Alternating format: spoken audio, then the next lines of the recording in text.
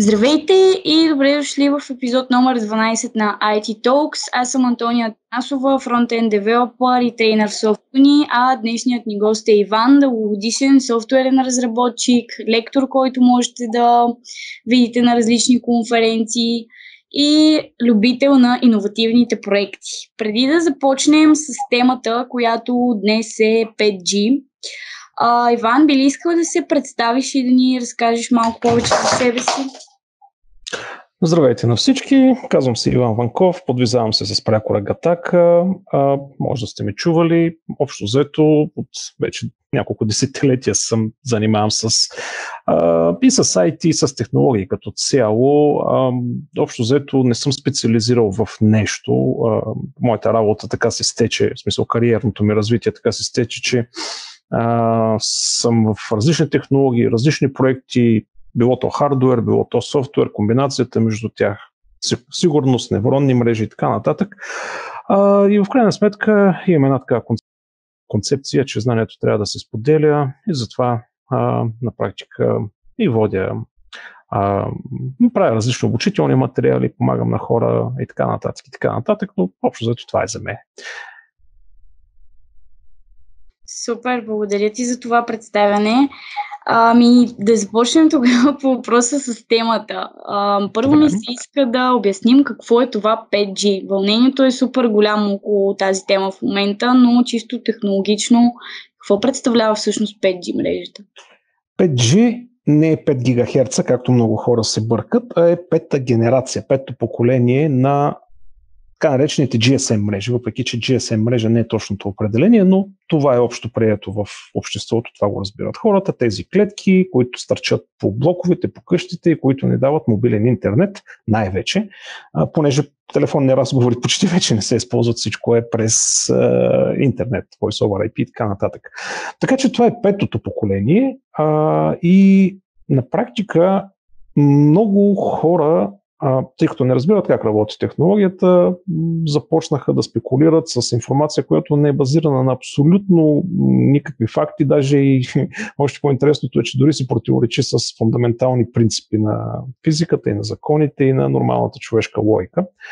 А, но всъщност 5G е нещо доста съществено от чисто технологична точка, защото а, предишните поколения, примерно първо, второ, трета, четвърта, така нареченото 3G, 4G, а, примерно разликата между 3G и 4G беше съществена, но само в а, скоростите, които можеше да предоставя. Тоест беше просто по-бърза. Но начина на работа на мрежата като цяло си беше същия както на 3G и до много голяма степен както и на по-старите 2G.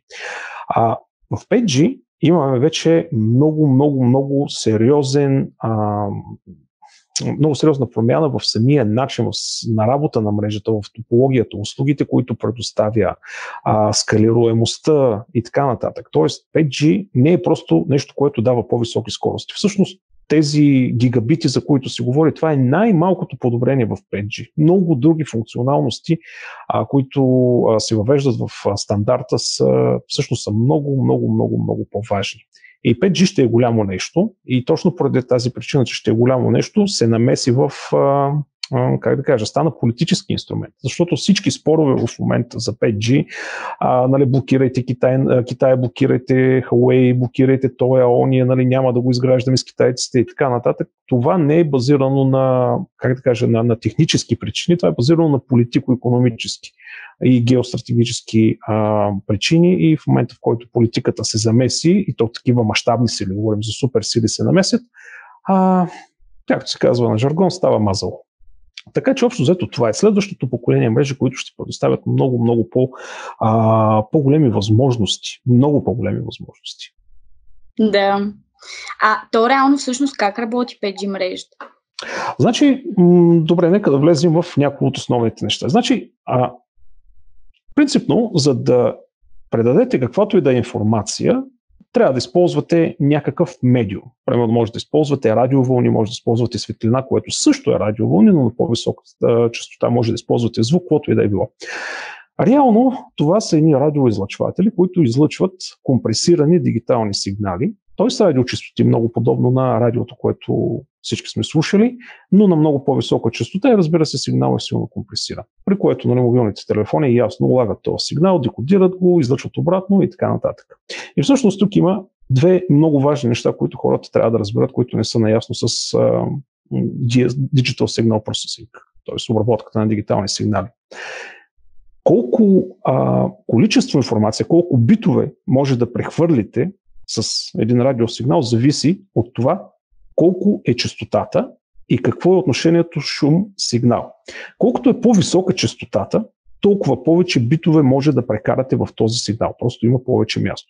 Аналогията е, ако искате да пренесете багажа си, примерно от един апартамент в друг, нали, ако го направите с някоя малка градска кола, ще ви отнеме много пъти, но ако вземете един голям камион, може да ги пренесете на един път. Тоест, колкото е по-висока частотата, имате възможност за по-голям трансфер на данни. И точно за това 5G, част от стандарта, позволява да се стигне до много високи частоти. В някои случаи 300 ГГц, но до това никога няма да се стигне. Общо взето, нали, говорим за 24-60 ГГц в определени случаи. Но тук идва втория момент. Отношението шум-сигнал. Тоест, колкото е по-висока частотата, тя толкова по-лесно се абсорбира от всичко. От въздух, от стъкла, от листа, от бетон и така нататък. И по тази причина светлината, която е много висока частота, нали, може да я блокирате буквално с един лист хартия. И тъй като 5G, ако тръгне да работи на по-високи частоти, а, самата прониквателна способност на, на, на, на сигнала става по-слаба, шума се увеличава. Тоест, от една страна, вие имате а, възможността да прекарате повече битове, защото сигнал е с по-висока частота, но от друга страна, този сигнал не може да стигне много надалече, защото дори въздуха го абсорбира. Дори едно стъкло, най-обикновено стъкло, абсорбира огромна част от 5G излъчването заради високата частота. И тук идва се намери баланс. Разбира се, има и варианта нали, да увеличите излъчвателната мощност на антените, нали, колкото е по-мощен сигнал, толкова по-надалече ще стигне, но има много строги ограничения каква е максималната мощност на излъчване. И те са наложени от буквално столетия. Не столетия, не, но от десетилетия. Така че решението при 5G е следното. Клетката, клетките могат да работят на по-низки частоти примерно на частотите, на които работят 3G и 4G, т.е. това са частотите на около, примерно от 800 МГц, примерно или 2,4 ГГц и така нататък. Тези частоти не могат да прекарат толкова висока скорост, но пък могат да достигнат по-надалече. И повечето устройства, когато нямат нужда от а, висока скорост на трансфер на данни, те работят на практика на ниските частоти. И така имат по-голямо покритие и така нататък и така нататък. В момента, в който някое устройство поиска по-висок трансфер, ако клетката е близко до него, ако отношението сигнал-шум е достатъчно добро, тогава клетката и телефон или устройството като цяло могат да се разберат, да прескочат на по-висока частота и да започнат такъв високоскоростен трансфер. Като това нещо става автоматично, това го прави чипа, нали? потребителя не трябва да пипа нищо. И в крайна сметка 5G ще има тези високи скорости, за които се говори, от а, гигабити, само ако има клетка близко до вас и няма нещо, което да смущава клетката. Така че а, това е нещо, което хората трябва да го знаят. Няма винаги на всяко едно място да имате гигабити. А, трябва да има клетка близко до вас. Другото, което от чисто техническа гледна точка е много интересно, което го правят, е свързано с увеличаване на сигнала на мощността, т.е. по-мощно излъчване. Разбира се, винаги е много, всъщност много е лесно нали, да си вземеш тая антена и примерно вместо 20 вата примерно излъчва, излъчване или 2 вата да я пуснете на 2 кВт. Разбира се, това ще нанесе такива щети, че нали, а, няма какво да говорим. Но проблема е, в, примерно в 3G и в 4G, че тези антени, те са широко ъгълни, те не са насочени антени. А, а реално антената, като я сложите някъде тя покрива един много голям терен, много голяма площ. И целият сигнал, който се излъчва, се излъчва равномерно между цялата тази площ. Десетки квадратни километри. И затихването естествено е много по-голямо, защото трябва да покриеш по-голяма площ. При 5G се прави нещо изключително хитро. И то се наричат фазови антени. На практика в самите клетки няма една антена. Има много, много мънички антени, които се управляват по един много интелигентен начин и използват един много интересен физичен а, феномен, който позволява да насочиш сигнала към точно определена точка, т.е. да го фокусираш, без да има абсолютно нито една движеща се част. Този феномен е известен много отдавна, още от времето на студената война, т.е. преди даже времето на студената война, като започват да разработват първите радари, го установяват. Но на практика, като модулираш сигнала по точно определен начин между антените, може да получиш а, интерференция и други подобни а, взаимодействия между различните вълни и вместо тази антена, като примерно да кажем, че седи горе на, на копитото и нали, обслужва примерно цял люлин, тя може да насочи сигнала си на много по-малки градуси към много по-малка зона. Тоест, с същите ватове, които едно 4G ще покрива прямо целия люлин, 5G с много по-малко ватове може да прекара дори и по-силен сигнал, защото той го насочва, той го фокусира към клиента, към устройството, към което той говори. И ако това устройство се движи, няколко стотин пъти в секунда този сигнал се а, рефокусира в зависимост от един куп неща. Между другото, математиката там е уникално, уникално сложна. Много са малко хората, които могат това нещо да го сметнат. То даже не го смятат и хората се смята само на машини това нещо, защото а, просто е невъзможно човек да, да, да, да, да реши тези формули на ръка, да се изчисляват. А, много, много е комплексно. И на практика, какво се случва?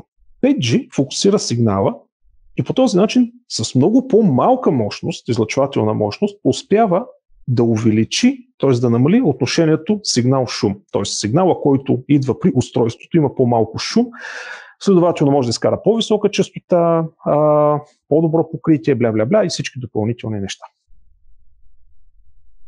И, а това да, означава, давай, че има повече да. антени, нали? Да, има повече. Да. Значи, като, като корпус, той изглежда горе-долу по същия начин. Просто вътре в корпуса не е една антена, а са масив с точно определена форма, за да може да стане цялото това нещо.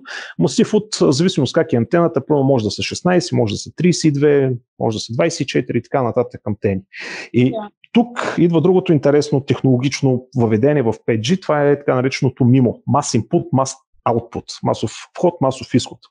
Тъй като имате много антени, а, може да се правят много интересни дуплекси, а, мултиплексинги, превключвания, кой кого управлява и така нататък. И тук идва, може би, най-важното нещо, което според мен е в 5G, възможността една клетка да обслужва страшно много устройства. При 4G а, си има доста така малък лимит, колко устройства могат да бъдат обслужвани. И тук не говорим, ако се закачат повече устройства, скоростта на всички пада. Просто има лимит, самия протокол не позволява, като стигнете определено ниво, просто не може друго устройство да се закачи за клетката. И всички това сте го изпитвали, сме го изпитвали по нова година, като тръгнем да си пишеме, да си обаждаме и така нататък, да си чиститиме. Как да, мрежата чак, пада. Чакаме. Да, няма, няма свободен слот, така да го кажем. Няма свободен слот в сигнала в 4G.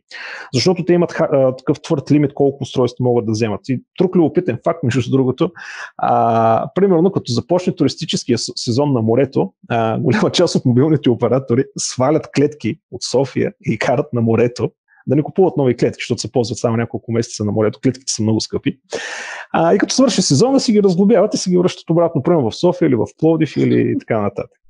А 5G, заради всички тези иновации, нали, множеството антени вътре, смяната в протокола, нали, така нареченото МИМО, а, може да обслужва страшно много клиенти. Страшно много клиенти с а, пъти. Значи тук се говори, че нали, а, сега, като се казват цифри за 5G, трябва да знаете, че стандарта а, има, има, има много място за интерпретация, зависи от това кой е направил чипа, имплементацията, как е настроена клетката. Но спокойно а, се, нали, може да приемем, че около 10 на хиляди човека на квадратен километр могат да бъдат обслужвани с абсолютна лекота, без абсолютно никакъв проблем. Което е доста сериозна цифра, между другото.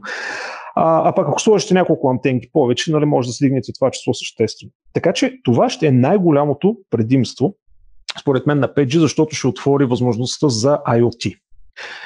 Другото следствие от цялото това нещо, фокусирането на сигнала, новите начини на модулация и други подобни неща е, че самия а, чисто енергийния разход на устройствата да говорят с 5G мрежите а, е по-нисък. Тоест, А, и също така лейтенсито, нали, отворените канали, хендшейковете, всичките тези неща са много оптимизирани. Тоест, ня, ня, някое много малко устройство с така наречените low power устройства, които се захранват с някакви малки батерийки, нали, някой сензор някъде сложен, който седи там, нали сте го забравили, примерно след 5-6 години ще му свърши батерията, той може спокойно да комуникира с 5G мрежата, ефективно да комуникира с 5G мрежата. И всъщност той 5G е правен с тази цел, нали, да освободи възможността за свързаност на IoT. Защото в момента IoT, примерно в помещение, окей, слагаш ни големи wireless и те си комуникират и така нататък, но на открити или на отдалечени пространства, м- градски зони, където примерно няма Wi-Fi и други подобни неща или не е reliable мрежата, нямате други възможности. Сега има някакви а, протоколи, нали, които работят на ниски частоти, но а, 5G ще позволи интеграцията. Тоест а, да затворите връзката между нали, Edge устройството, т.е. този IoT сензор или каквото да е било там, с абсолютно цялата верига от други устройства, алгоритми или каквото да е било отзади. То ще им позволи а, тази свързаност. И според мен, ето това е най- най- най-голямото нещо на 5G. Най-важното нещо, най-същественото, което много ще ни промени а, въобще начина по който се изграждат и градове и и производства, и процеси, управление, наблюдение и така нататък и така нататък. Добре, а цялото това нещо с а, по-големият наброй антени, с по-високите частоти и така нататък, опасно ли е всъщност за човешкото здраве? Защото до голяма степен заради това се спекулира, нали, че ни вреди по някакъв начин, едва ли не. Да, нали, почнаха да горят и кули в Англия, защото да, да. предизвиквал коронавируса. Да, чипирали и така нататък. Значи, аз между другото ми стана много любопитно откъде идва цялата тази теория на конспирациите и се поразтърсих. А, не съм правил някакъв дълбок ресърч, но попаднах на няколко статии на хора, които са правили по-сериозен ресърч от мен и какво се оказва. Всъщност цялото нещо започва от един французин, който сега е на около 80 години някъде, а, който преди години, говорим някъде 70-те, или нещо такова, е отишъл да, на някакво рутинно изследване с рентгенова машина, обаче рентгеновата машина била повредена и го облъчила с а, свръхдоза рентгенова радиация. И оттам един куп здравословни проблеми, защото рентгеновите лъчи са си опасни. Няма разумен човек, който да ви каже, че рентгеновите лъчи не са опасни. Те са опасни а, и затова лекарите носят и уловни дрехи, жилетки, да се предпазят от тях. Да в крайна сметка човека с някакво си там негово криво разбиране приема, че абсолютно всички радиоизлъчвания са опасни. Няма значение мощност, частота. И започва с десетилетия, много така настоятелно, с а, чак фанатично постоянство, нали, да се опитват да пропагандира, че нали, той пропагандира, че wireless, Wi-Fi мрежите са вредни че радиото, нали, най-обикновеното радио е вредно и така нататък. И общо взето, като никой не му обръща голямо внимание през годините, но когато интернет става по-популярен и когато интернет дава гласност на всеки улов, знаеш, не знаеш, ти можеш, нали, а, той се намира други съратници а, с същите ментални а, как да кажа, същите ментални отклонения като него и със същото разбиране. И тук се показва нали, старото правило никога не подценявай голяма група глупави хора на едно място. И от тук започва. И започват едни спекулации. Сега, нека да го изчистим това нещо, защото то е пределно ясно. Няма изследвания върху това нещо са правени откакто е ясно, че, че откакто сме се научили да произвеждаме радиоелектромагнитни лъчения. Това са векове, буквално. Се правят изследвания. И всъщност, какво се случва? Светлината, радиовълните и така нататък са едно и също нещо. Електромагнитна радиация, наричайте го както искате. Това е едно и също нещо. То се характеризира с две неща. Частота и мощност. Частотата се измерва в херци, мощността, да кажем, се измерва в ватове. Има и други единици, но ватовете са подходящи в момента. Частотата определя колко е опасна дадена електромагнитна вълна. Защото какво се случва? Тези електромагнитни вълни, когато се допрат до материя, каквато и да е, органична или неорганична, по един или по друг начин те взаимодействат с атомите. Но тук идва един тънък момент. Ако частотата е ниска, тя няма необходимата енергия да направи каквото и да е било на чисто атомно или на чисто химично ниво. Ако частотата е много висока, то тогава при взаимодействието на електромагнитната вълна с най-вече с електроните, които са основата на химичните връзки, тя може да разкъса електронните връзки, при което значи да разбие химичните съединения, което значи да прецака а, въобще всичко живо. И сега, коя е частотата, от която това нещо започва да се случва? Частотата е ултравиолетовата светлина. Всичко до ултравиолетовата светлина просто няма силата да извърши каквото и да е било взаимодействие в, с атомите, с изключение на лекичко да ги разклати, но за това ще говоря след малко. Но по никакъв начин просто няма тази сила, за да може да прекъсне примерно химична връзка или да избие електрон или така нататък. В момента, в който стигнем до а, ултравиолетовата светлина, то там нататък вече всичко започва да се нарича ионизираща радиация. Защото ионите са точно това атоми без електрони, с избити електрони или с повече електрони. И всъщност ултравиолетовата светлина е с още по-висока частота от видимата светлина. И просто да ви дам контекст. 5G работи на, да кажем, от 800 МГц до, айде да сме щедри, 300 ГГц. 300 ГГц звучи голямо число. Видимата светлина, която всеки ден ни грее от Слънцето, е около 1,5 терахерца. Тера. Хиляди пъти. И тя не е ионизираща. За да стане ионизираща, трябва да минем ултравиолетовата. А, ултравиолет, трябва да отидем в ултравиолетовата. И точно за това, когато отидем на море, се мажем с слънчезащитен крем. Защото ултравиолетовата светлина е тази, която изгаря кожата. Е, е тази, която може да ти предизвика рак на кожата. Защото тя е ионизираща. Но няма как. А, ам, смисъл нещо, което е на гигахерцовия размер, да предизвика каквато и да е било ионизация. Просто физиката не го позволява. Ако това нещо е възможно, се нарушават един куп фундаментални физични принципи. И между другото, Айнштайн получава Нобеловата си награда не заради теория на относителността и така нататък, а получава заради това, че той успява да разбере а, точно ето този факт, че енергията идва на определени части. Тя не е някаква постоянна. Тя е, идва на точно определени дискретни количества. И това всъщност от тук това дава началото на квантовата физика. Нали, квант, количество, пакет и така нататък. И всъщност от там нататък, спрямо тази проста концепция, че енергията идва в точно определени пакети и не може да бъде примерно половин пакет. И следващата връзка, нали, която се прави нали, Максуел и Планк и така нататък, че всъщност частотата е пряко свързана с, а, с а, енергията вътре в а, самата вълна, респективно какво може да направи примерно на атомно ниво, това нещо дава основата на квантовата физика и а, реално, ако това нещо не беше вярно, ние нямаше да имаме компютри най-малкото където е, за да може да си пишеме колко е опасно 5G, да си говориме, нали, да, да пропагандираме. Другото много любопитно е, че а, един микрофон, а, радиомикрофон, примерно, който, такъв, който певиците използват на, на концертите. Той да. има много, по, много по-голяма мощност на излъчване от 5G. Много по-голяма мощност, чисто като ватове. А, но няма значение. Просто на много места хора, които говорят против 5G, използват такива микрофони, но не си дадат сметка, че всъщност това е много по-опасно.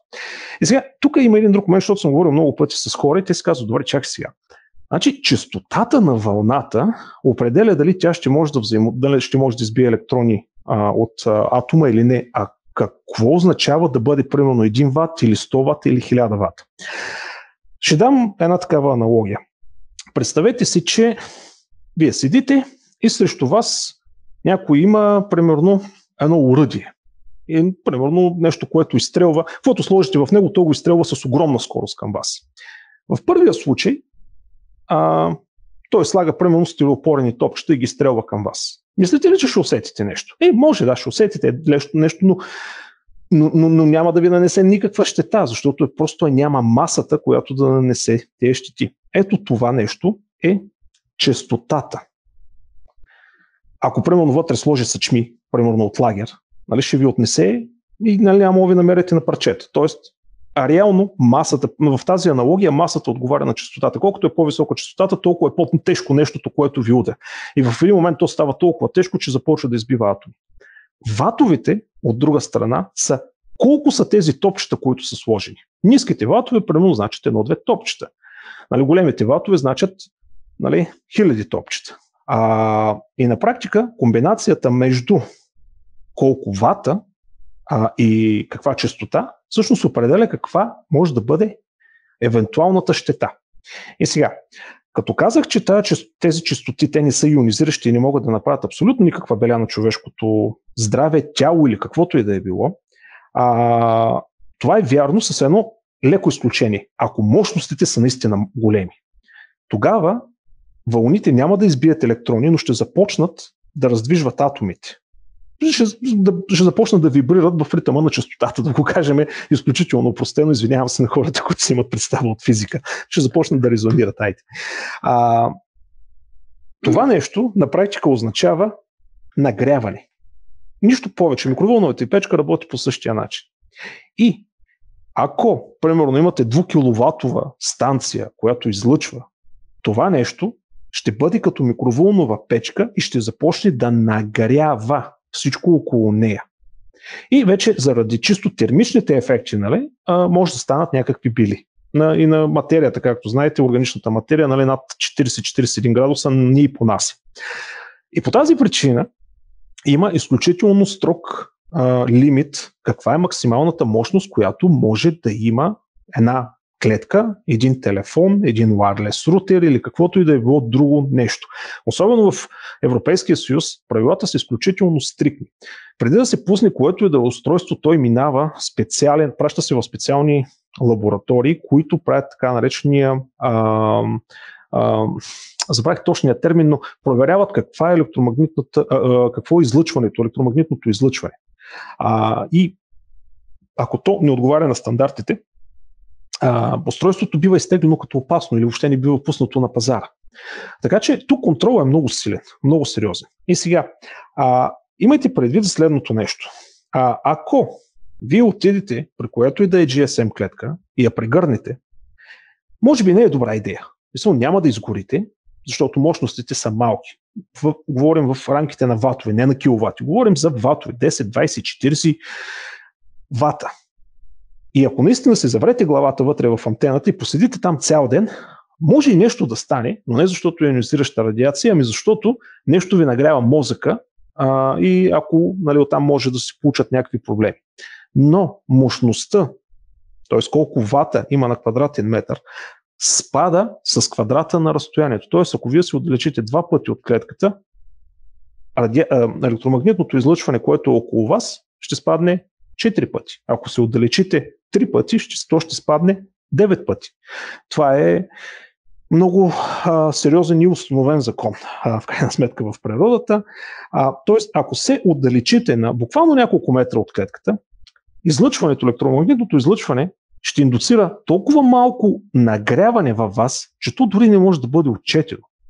Защото вие имате, да кажем, 20 вата излъчване, което е пръснато на някаква, а, в някаква голяма зона и то като спадне 10-20 пъти, и на практика при вас в кожата видват някакви мили ватове, които се разпределят по цялото ви тяло.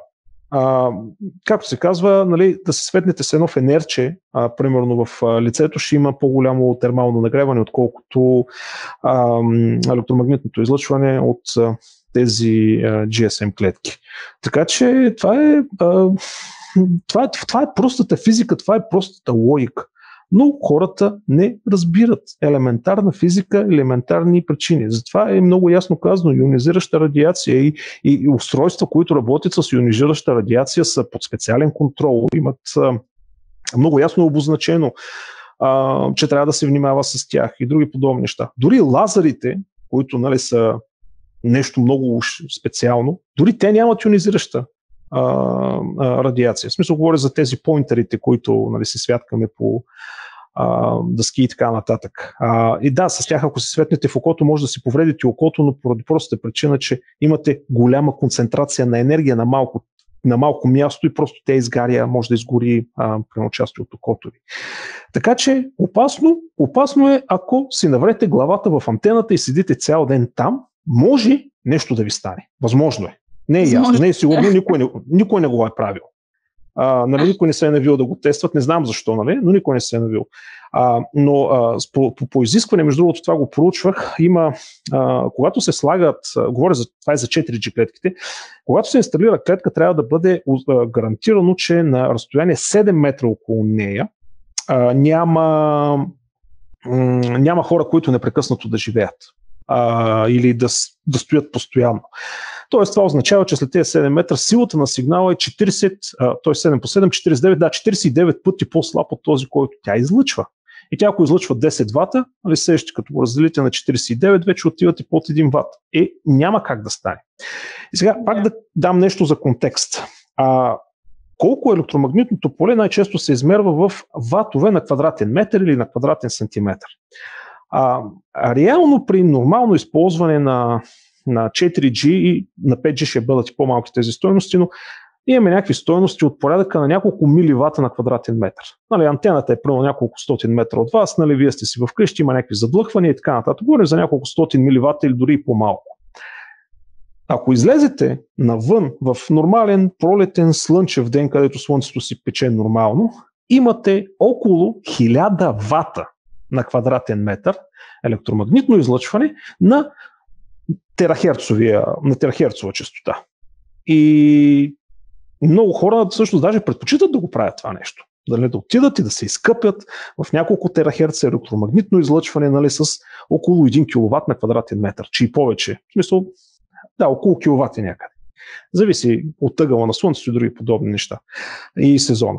Така че, ако някой ми каже, че той няма нищо против да седи на няколко терахерца електромагнитно излъчване с мощност 1 кВт на квадратен метър и след това да ми твърди, че нещо, което е хиляди пъти по-ниска частота и хиляди пъти по-ниска, даже 10 хиляди пъти по-ниска мощност, му е било опасно за него, ами аз лично му препоръчвам да седне и да прочете няколко елементарни книжки. Има достатъчно достъпни материали и за физика и така нататък, които могат да обяснят тези концепции на разбираем, а, нали, for dummies, така наречените книжки, for dummies, където с прости приказки да му обяснят, че това нещо не става. Защото ако беше така, ако слънчевата светлина беше ионизираща, нали се сещате, че а, каквото и да сложите отвънка на слънце, то ще бъде съсипано за отрицателно време. Нали, сега е ясно, ако сложите едно парче месо на слънце, то ще се съсипи по съвсем други причини. Нали. Но, а, прямо гумите на колата, гумите на колите, а, врати, поплътнения, прозорци, дървета, каквото и да е било, то, то всичко ще, ще да изгори. Така че, примери мога да давам колкото искате. Това е простата физика и, и, и, и, и тя не е сложна физика. Това са основни неща, които буквално след 30-40 минути, даже няма и толкова ровене из интернет, нали, на нещо, което, смисъл, което е доказано научно, вие сами могат да достигнете до този извод. Да, всеки там може да си го направи този извод. Еми, то е значи сумаризирано всичките тези движения от сорта на спрете 5G и така нататък са просто организирани, така да кажем, от хора, които нямат техническата компетенция за това всъщност как работи технологията. Ами те са използвани. Ако трябва да бъда честен, те са използвани, защото изкуствено се налива а, така, бензин в този огън. Защото, както казах, 5G е инструмент, политически инструмент вече. И на практика някои организации, трибуквини и други подобни заинтересовани започват да бутат подобно нещо, за да може да... Те си гонят някакви техни цели. А, нали, тук Реално то това не е теория на конспирацията. Той всеки може да го види. Всъщност те съвсем публично излизат и казват, ние забраняваме първо продукти на Huawei. А, или ние няма да работиме с а, еди кой си правилно производител или ние няма да вкарваме 5G, нали, защото това е опасно за националната сигурност. И сега хората, които се чуят, добре, това е цялата лойка. Аз не, не претендирам, че съм капацитет, но това е от всичко, което съм прочел, чул, разбрал, говорил, различни мнения и така нататък. Обобщената и най-разумната версия звучи последния начин. Тъй като казах преди малко, че 5G ще отвори възможността за а, много по-масивна комуникация. Много а, важни системи ще започнат да минават през 5G. Светофарни уредби, датчици, сензори, неща, които а, едно по едно не са чак толкова важни нали, за ежедневието ни, но ако закачиш всичките в една мрежа и някой друг има контрол върху тази мрежа, може да ти предизвика такъв хаос, че си нямаше на идея. И всъщност точно тук идва големия, големия проблем. Тъй като Huawei, и не само Huawei, нали, но а, основно китайски компании са тези, които държат патентите за 5G, имат производствения капацитет за 5G а, и един куп други пак политико-економически неща. На практика се случва така, че а, единствените, които ефективно в момента могат да изграждат 5G клетки, са китайски компании.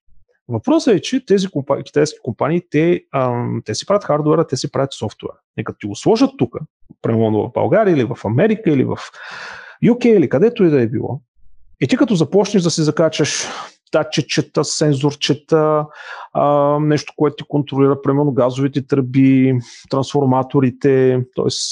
Други, други подобни такива неща. И в един момент това нещо става един много, много сериозен инструмент в ръцете на тази държава да налага влияние. И не дай се Боже, при евентуални по-агресивни действия могат а, да направят такава подривна дейност, че буквално да спрат една държава, с която след като е имплементирала 5G и няма контрол върху него, могат да спрат държавата буквално за минути, нали, да, да я превърнат в хаос от всякъде. Само толкова да спрат, то е достатъчно. И от тук идва големия проблем. Никой не иска да си вкара ралеж в гащите, защото истината е, че никой не вярва на Китай. Това е простата истина. Никой не вярва на Китай. Въпросът е, че от друга страна, другите компании, Nokia, Siemens, Alcatel и така нататък, те нямат, то не, че нямат капацитета да го направят. Вижте, за да може да се направи цялото това нещо, това не е просто да си купиш и клетки да ги сложиш. А, устройствата трябва да работят на тази система. Клетките, в смисъл, има една огромна екосистема, която трябва да сработи, да се завърти. При 3G беше пред в целия свят, защото имаше много вендори, нали, които предоставяха устройства, горе-долу стандарта беше ясен, не беше толкова централизиран и в един момент всичко работеше. Нали, взимаш си iPhone, примерно от Съединените щати, идваш в България и в повечето случаи, освен нали, Apple, ако не са направили някакви специфични неща, нали, той си работи. А, респективно, излизаш с Nokia 3310, примерно отиваш примерно в, в Йордания, примерно и той си работи. Цялата екосистема при 3G и 4G я имаше Имаше много доставчици, имаше много имплементатори. При 5G Китай се опитва да държи монопол. И тази екосистема не може да се разгъне. Поради причините, които споменах. И а, тъй като в Китай нещата са много централизирани, там нали, има едно, един човек, който като тропне по масата, нали, става по този начин. А, всичките, а и те държат и производството на почти цялата екосистема. От фаним клиентските устройства хардуера, клиентските устройства софтуера, а, клетките, поддръжката на клетките, и, софтуера за тях, и, и всички междинни нали, слоеве, които са необходими, защото хората трябва да знаят, че те 5G клетки не е просто да отиш да ги забиш на един кол. Тази клетка, за да ти пусне интернет, тя трябва да го вземе от някъде този интернет. И нали, там има два варианта. Един е или от клетката слиза оптичен кабел и влиза в някой дебел оптичен кабел, нали, в някой бекбон, а, или има друг вид специфични антени, строго насочени на съвсем различни протоколи, нали, които върчат към базовата станция и оттам, нали, малко е сложно. Но става въпрос, че има, има много междинни слоеве, за да можеш да накараш цялото 5G да работи. Имаш много и хардвер и софтуер между самия оператор и самата клетка, които също трябва да бъдат предоставени и те да работят и трябва да са съвместими. И тъй като Китай съвсем целенасочно се опитва да държи максимален монопол върху цялата тази екосистема, а, това всъщност пречи т.е. не пречи това, кара хората, и то не хората, ми държави и правителства нали, да се дърпат а, назаде. А пък Първо всички европейски или американски производители, които имат техническия капацитет да го изградат, тъй като те не са централизирани, а, не могат просто да тропнат нали, с крак и да кажат, е така ще бъде. А, много, е, много е сложно. Много лека по лека ще мине цялото това нещо, а, ще започне да се въвежда. А, просто ще стане по-бавно. В момента е нацакване на цялото това нещо. Така че общо взето това е цялата ситуация, според мен. Добре, а според теб 2020 ли ще бъде годината, в, кое, в която цялото това нещо да навлезе, да кажем, и всеки един от нас да може да използва 5G? Ами не. Не, според мен не. А, сега има на места, където вече започват тестове. А, имате предвид, че това няма да стане от една вечер, просто някой да отиде да бутне една USB флашка някъде, нали, да натисне upload и всичко да мине 5G. Тук говорим за подмяна на станциите. Тези станции са скъпи, много скъпи. А ще започне поетапно, по, поетапна подмяната им. И на някои места дори никога няма да се появят, където няма смисъл. Първо ще започне с големите градове, предполагам България ще започне от София, Пловдив, Варна, Бургас, Търново, Стара Загора и така нататък. От големите градове, най-често в центъра, а, около бизнес градите и постепенно а, с течение на годините ще бъдат добавени повече и повече и повече и повече клетки. А, вече всяка компания ще си прецени нали, какъв е а, бюджета и колко, за колко години иска да направи тази транзакция, транз, този транзишън. Но определено няма да е за една година, ще отнеме години и това ще бъде постепенна подмяна. А, и точно затова всички чипове, които се продават прямо за мобилни устройства и за IoT-та, те поддържат а, и 5G и старите 4G стандарти, а, въпреки че са изключително различни. Тя на практика са два напълно различни чипа, нямат абсолютно нищо помежду си, т.е. нямат нищо общо помежду си. А, но все пак го правят, за да може в крайна сметка, като си сложиш устройството, което работи на 4G, в последствие като се появи 5G сигнал, автоматично да превключи на 5G, оттам вече да да си... Да, да не е да, да не се налага да го смяташ. А, сменеш, извинявам се. Тук започна да, да се изморявам. Тоест, въобще не трябва да бързаме с купуването на такива телефони, О, защото не. да, е рано все още. Не, за телефони в никакъв случай няма смисъл да си купуват в момента. И пак казвам, за да достигнете тези гигахерц, гигабити, извинявам се, които, нали, а, а реално тя системата може да пусне, а вие трябва да имате доста, добро, доста добра видимост до тези клетки. А, и това значи, че трябва да има няколко клетки около вас, за да имате тази необходима видимост, за да може да направите хенчейка да отидете на висока частота за, за трансфер. А, ако сега, дори да, ако сложат малко 5G клетки и телефоновия 5G и на практика, ако влезете прямо в някое помещение, а, сигнала не може да мине. Сигнала на 5G сигнала не може да мине през бетонна стена. А, ако има и арматура, просто забравете. И точно поради тази причина в 5G, другото, което е много интересно, което се въвежда като стандарт, е различните видове клетки. А, има така наречените наноклетки, или мисля, че пико се наричаха или наноклетки. А, всъщност те са едни малки устройства, които приличат на Wi-Fi а, рутерчета, които примерно може да си ги сложите в, да кажем, имате някакво хале. А, което е прямо с метални стени или нещо такова. Нямате покритие на 5G вътре, но искате по някаква причина вътре да има 5G покритие, за да могат всичките ви сензори да работят. Може да се вземете такава пикоклетка и, а, и да си я сложите вътре в помещението а, и на практика тя играе ролята на усиловател.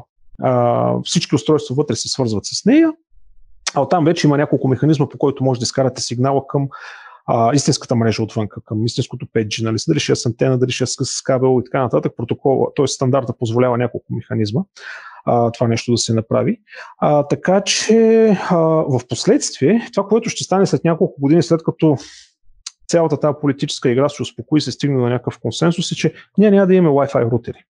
Просто няма да имаме Wi-Fi рутери, ние ще вземем същото устройство, но те няма са Wi-Fi рутери, те ще са 5G рутери, които ще работят на същия принцип. А, като си го сложиш в къщи, али, буквално на няколко метра, ти ще имаш страхотни скорости. А, и оттам, примерно, през мрежовия кабел това нещо ще излиза някъде навън, по някакъв начин ще се синква с мрежата на оператора и така нататък. А, ще бъде интересно. Да, от гледна точка на потребителя нищо няма да се промени. Просто ще смени едно устройство с друго устройство. Нали, телефона му респективно трябва да бъде 5G, но Wi-Fi просто Wi-Fi ще изчезне след, не след няколко години, но лека по лека ще започне да изчезва като стандарт, защото 5G го прех, как да кажа, 5G е по-добър във всяко едно отношение. И скоростите са по-големи, мощностите са по-малки, лейтансито е по-малко, говорим за няколко милисекунди на нали, целият момент на, на разпознаване с устройство клетка и да почнат да предават. А, предимството е много голямо. Предимството са много големи. Така че Тоест бавно във времето просто ще, ще измести старите технологии. Да, ако Китай не, не бяха такива инати да се опитват да държат монопол, вече щяхме да сме много активно навлезли в изграждането на подобни мрежи и да ги прегръщаме с, а, така, с топли прегръдки, но не се знае какво ще стане в крайна сметка. Yeah. Надявам се да се разберат, защото нали, винаги има и варианта нали, заради ината на някой или заради глупостта на друг или комбинация от двете, да зарежат въобще цялото нещо и да измислят някакъв да изчезне. И да изчезне. Ами, случвало се. Има го. Възможно е, да. Да, напълно е възможно. Добре, ти вече спомена, че о, не е единствената разлика между 4G и 5G скоростта, а има и други така доста големи плюсове. Какви всъщност са те? Ще забележи ли нещо крайният потребител накрая в това, не. Не, те не са направени за край. Не, те не са направени за крайния потребител. Ми аз споменах някои от тези, които са. Нали, първо, че мощности са по-низки, хендшейка е а, много по-бърз. Времето а, нали, да, да се разберат антената и прямо и телефона на каква частота ще работят, с какви сертификати ще работят, какъв е протокола по който ще работят, за какви скорости ще работят и така нататък. При 4G това нещо е бавно. А, най-лесният начин да, да проверите за какво, за какво става въпрос, какъв е лага е а, пуснете си, примерно, някакъв FPS, примерно през 4G, да видите за какво става въпрос. Лага е безумен. А, просто защото 4G никога не е било правилно с такава цел. При 5G самия протокол е сменен и тук говорим за милисекунди. В някои случаи под милисекунда време за, за хендшейк. Сигурността е повишена, а, съществено. А, 4G не, и 3G, особено 3G, не се славят с най-добрата защита. Говорим за криптография. А, сега не е тривиално, но малко ако се така, позаинтересувате, ще видите как може да си вземете едни устройства и да им вземете един друг софтуер и така да го направите и да почнете да послушвате 3-4G. Без никакъв проблем.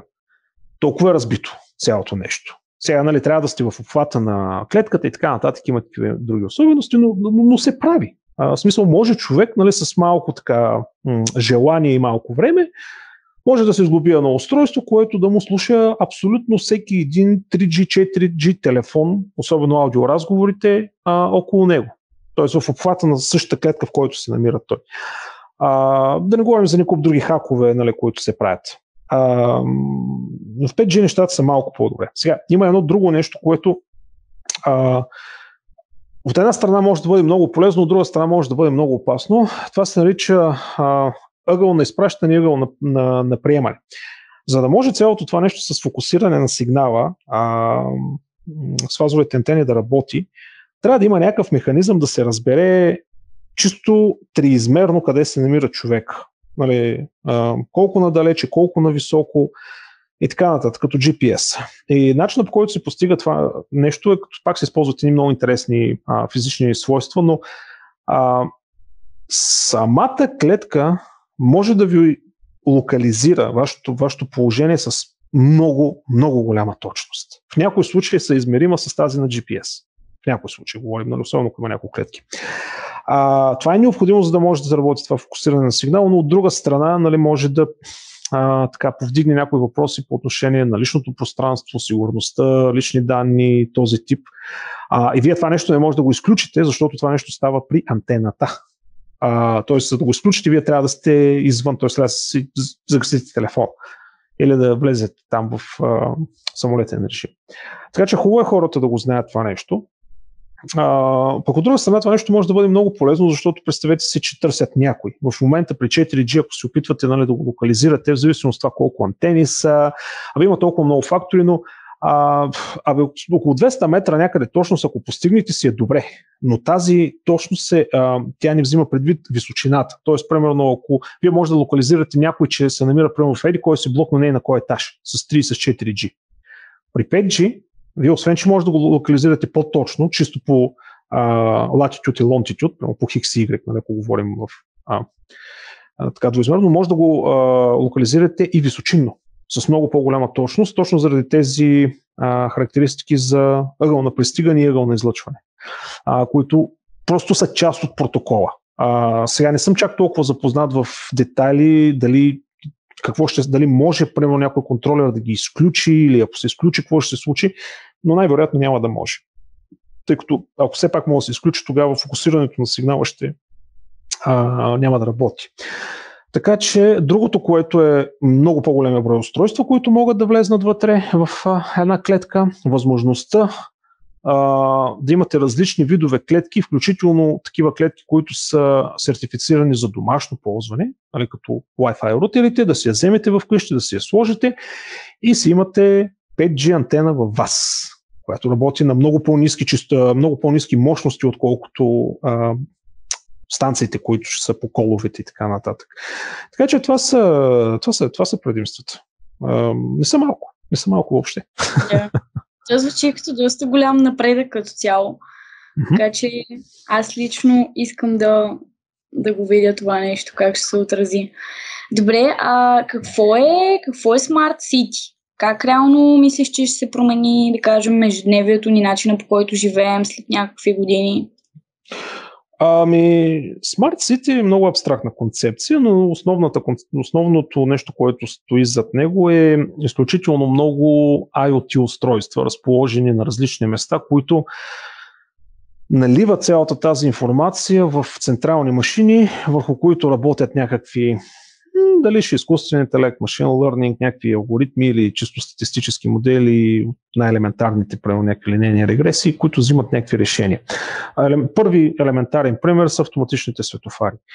А, на много места, когато се имплементира това нещо, т.е. не автоматичните, а умните светофари, на много места, когато се имплементира както трябва, намаля трафика, задръстванията страшно много защото камери следят, виждат какво е натварването по определена линия и могат да решат кога да пуснат колоната, за колко време да е пуснат тази колона и те се самообучават обикновено тези системи наистина ефектът е много голям от тях.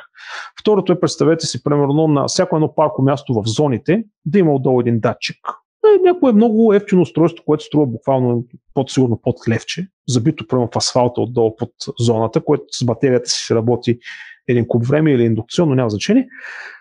И в реално време, вие като тръгвате примерно към синя зона, примерно някакво мобилно приложение да ви каже, ето това конкретно място е свободно в този момент. И ти да кажеш, добре, аз го запазвам за мен, примерно.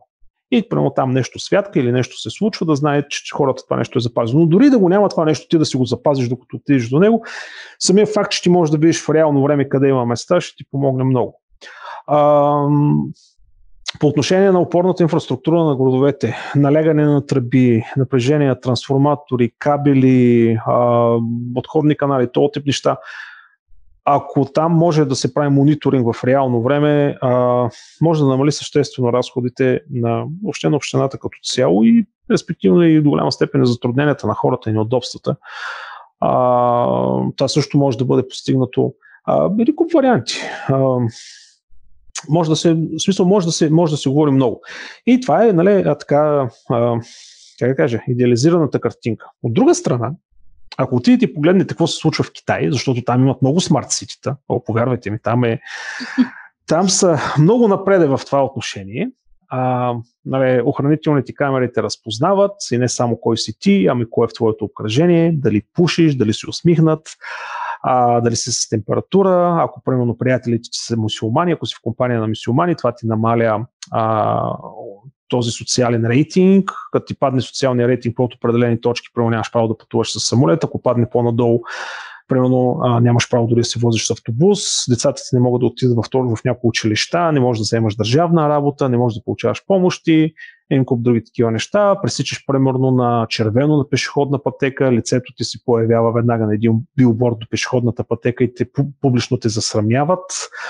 А, абсолютно всички а, такива а, и бариери, и брави, които са с чипове, да си отключиш прямо къщата или офис, или каквото и да е било са свързани.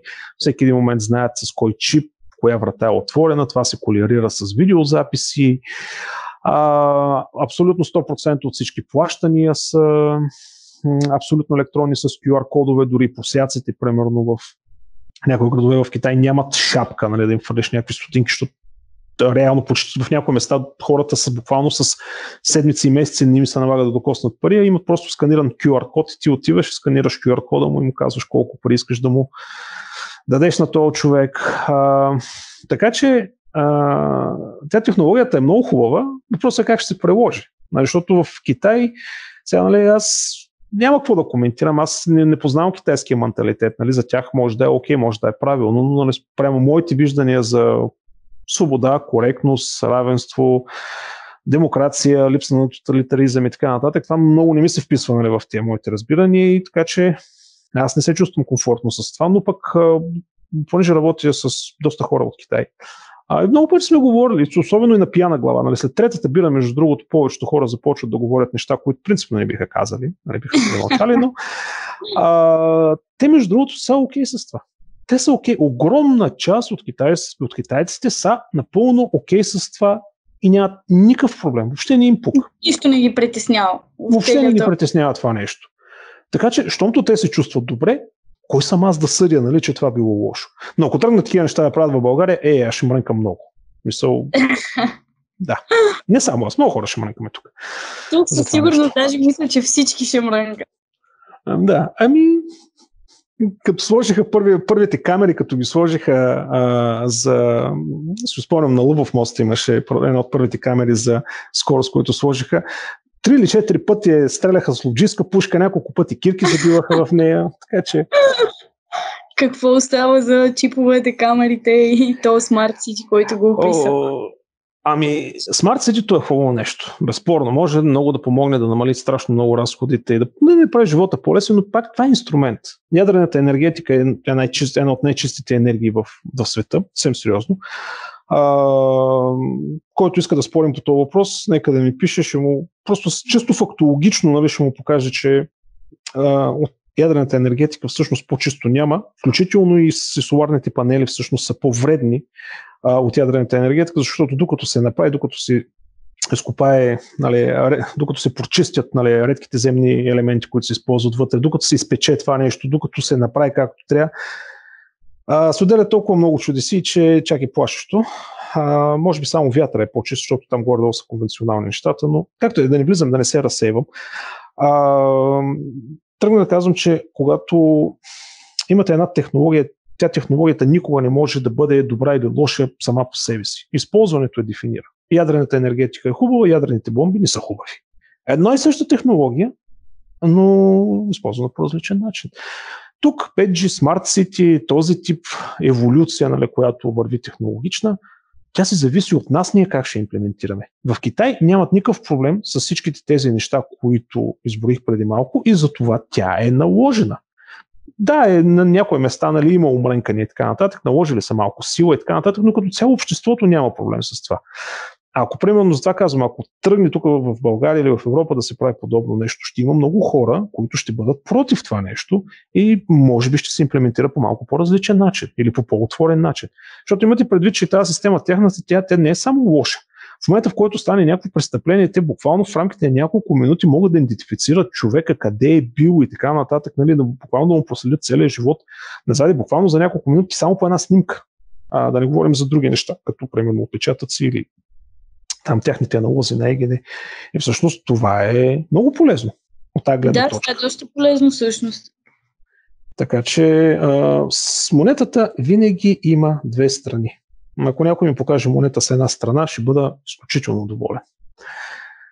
А, така че това, е, това са моите скромни разсъждения. А, пак казвам, нали, мнението ми не е миродавно. А, това, което аз искам да помоля хората, които са издържали а, говоренето ми вече един час, а, не да ми приемат думите е така като чиста монета, или нали, да кажат, то тега ти глупака, нищо не разбира майната му, а да направят следното нещо. Това, което мислите, че съм казал вярно, проверете го дали е така. Това, което си мислите, че съм казал грешно, проверете го дали е така. И тогава вие решете за вас спрямо информация кое работи и кое не работи. Защото голяма част от тези конспиратори, като тръгнат а, да търсят информация, те са изключително селективни. Нали, те отхвърлят някакви а, факти, които противоречат на тяхните разбирания и много силно приемат а, фактите, които подкрепят тяхната делюзия. Не го правете. Не го правете.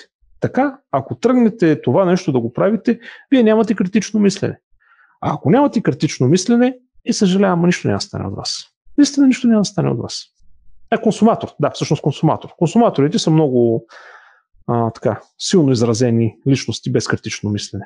Защото не може да се направят сметката, че, да кажем, същия iPhone от миналата година е същия като този тази година, нали, или Samsung телефона. Всъщност няма нещо, което да... Да не влезам в тази тема, че ще предизвикам ненужен хейт. А, нали, ясно е, че това е стейтмент за положение, за или някаква форма на удоволствие, нали, че си купил нещо, което ти харесва и така нататък, и така нататък но а, това означава, да, че техните решения. Да, но, но това означава, че техните решения са, проекти, са м- провокирани не от а, нужда, разбиране, преценка на предимства и недостатъци, ами от импулс. Аз искам, аз желая, аз искам да си покажа. А, сега, честно да ви кажа, аз не виждам, примерно, при последните няколко iPhone какво е нещото, което ще ме накара нали, да, да кажа, трябва да го имам това нещо. В смисъл, този фичър ми е абсолютно нали, ще ми направи живота по-лесен, ще ми намали разходи, нерви, ще ми вдигне ефективността. Няма такова нещо. Абсолютно. Поне, поне, да, с да. което да го подобри.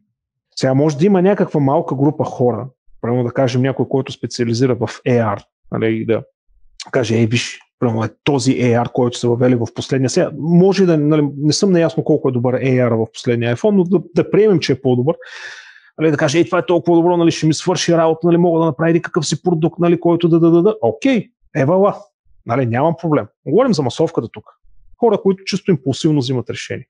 Бъдете, развийте си критичното мислене. В момента, в който се развиете критичното мислене и започнете а, сами да взимате решенията, знаете ли колко по-спокойно ще се почувствате? Защото ще знаете, че всъщност това, което ви определя вашите мнения, вашите решения, вашата информация, а, е базирано на, на, на ваше разбиране, базирано на ваши решения. Това дава едно много интересно чувство на свобода, много приятно чувство на свобода. И когато някой дойде и ви каже, ти си в грешка, ти можеш да го слушаш, да чуеш аргументите му, при нужда да си модифицираш малко твоите факти, може би и да си промениш и мнението в някакъв момент, но в 99% от случаите, ако сте се направили ресърча както трябва по дадена тема, просто ще му се усмихнете и с лека ръка ще си кажете, с не ме е грижа, не ме интересува да говори каквото си иска. И знаете ли колко по-лесен става живота? Когато може да игнорирате хейтерите, троловете, конспираторите, античипарите, антилизърт хората, флаттъртарите и, и да, цялата тая вселена от хора с специфични психологични състояния и да слушате, както се казва, само собственият си глас. Това беше много готино заключение. Да. Аз имам една последна молба, тъй като по традиция винаги на края на всеки епизод лекторът споделя някакви полезни книги, ресурси, канали, общо взето всичко, което намираш за полезно. Сега не е задължително да бъде в контекста на 5G, защото едва ли нали, любимата ти книга е за 5G или четеш по цял ден на тази тема. Така, ами, че... то, техническата документация за 5G дори не може да я намерите. В смисъл там, за да вземете спецификациите, трябва да ви одобрят. В смисъл, подава се смисъл, трябва... Не може просто е така да си свалите спецификацията от интернет. Да. А, така че дори да искате, не може да я вземете. а, ами, значи, реално, това е, това е, в смисъл, това е много хубава традиция. Въпросът е, че начинът по който аз работя, аз съм на, базиран на проект. В смисъл, когато има някакъв проект, аз го хващам, а, започвам да въз... търся информация по конкретните неща. Ето сега, примерно, най-вероятно ще се зададе едно много интересно решение, което трябва да направим е базирано на ГИС, географски информационни системи, което е много, много, много хитро. И на пръв поглед, примерно, ГИСовете изглеждат много прости но като задълбая човек в един момент се оказва е гати сложнотията. И нали, е реално като имам такава възможност, аз сядам и започвам да чета специализираната информация по тази тема, за да мога да се ориентирам какво, нали, мога ли да го направя и какви ресурси ще ми отнеме. Така че ам, моите източници винаги са специализирани по определена тема. Аз нямам някакъв генерален източник на информация, който да ми а, да, да знам, който да следя, да следя регулярно. А, иначе в YouTube мога да препоръчам няколко канала, които аз намирам за изключително забавни. Един се казва Thunder, Thunderfoot. Значи това е човек, а, той е, а, има докторантура по физика, малко е крайен в, в изказванията си, но следете го него. А, доста, доста интересен начин на мислене има и много често той примерно хваща дадена тема и чисто на научно ниво е разбива. Примерно защо даден продукт в Indiegogo, примерно, или в краудфандинг, там различните системи, всъщност е скам или няма да стане или така нататък. И, те са му дълги видеа по 30-40 минути, но става просто целият процес на обяснение. А, разбирате страшно много неща. А, неща, които не бихте разбрали по друг начин. А, другото, което аз страшно много харесвам и го гледам редовно, а, това се нарича Spacetime, също канал в YouTube. А, много готин човек, обяснява много сериозни неща от типа на това е разлика, в смисъл какво ще стане, ако минеш през черна дупка, но го обяснява, в смисъл той е, той е учен, не е някой си просто ютубър, нали, който търси популярност. А, обяснява го не, не, не, невероятно достъпен език. А, много сложни концепции могат да бъдат обяснени с изключително малко математика и много добри графики. Така че това също го препоръчвам като а, YouTube канал. А, и има вече и другите са прямо по-специализирани, ако говорим за YouTube, а за книгите там вече нали, трябва да кажете определена тема и ако съм се сблъскал с нея, вече мога да препоръчам някакви конкретни материали и, а, и литератури. Но Thunderfoot и Space Time са а, много, много, много. Поне, поне аз ги намирам за изключително приятни и, и добре информиращи. И без абсолютно никакъв баяс. Така че това са моите препоръки към мен.